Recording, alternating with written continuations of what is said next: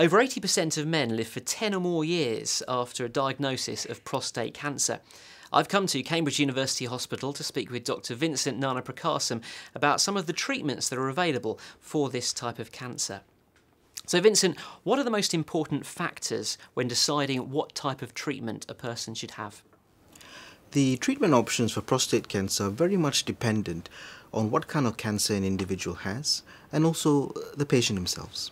So if a cancer is confined to within the prostate gland, uh, then we might be able to treat it by surgery or radiotherapy.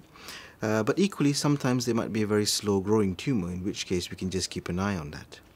But the kind of cancer is determined uh, by the size of it or the stage of a cancer, the type of cancer it is or the grade, and also the PSA test. And we use those three put together to create an idea of the risk of a particular individual dying of prostate cancer.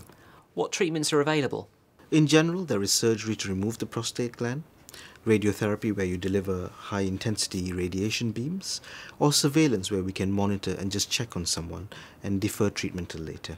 So, a number of different options then, Vincent. How do you decide which one's best? That decision is left to the patient in consultation with his consultant or nurse specialists.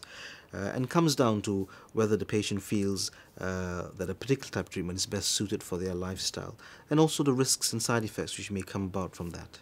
And what happens when treatment's finished? After treatment's finished, uh, the patient enters a phase of very close monitoring, and where they'll be seen regularly in the hospital, often with a PSA test measurement being done uh, on a regular interval. What about treatment for cancers that have spread? When a cancer has spread beyond the prostate, then the most common treatment is hormone therapy, and that serves to keep the, uh, the cancer under control. And uh, many men can live for many years with that. And if that should fail, there are actually uh, other drugs which can be used, chemotherapies, uh, which again can be very effective. Dealing with cancer is never easy, and this is especially so when deciding about treatments. But of course, it helps if you know the facts.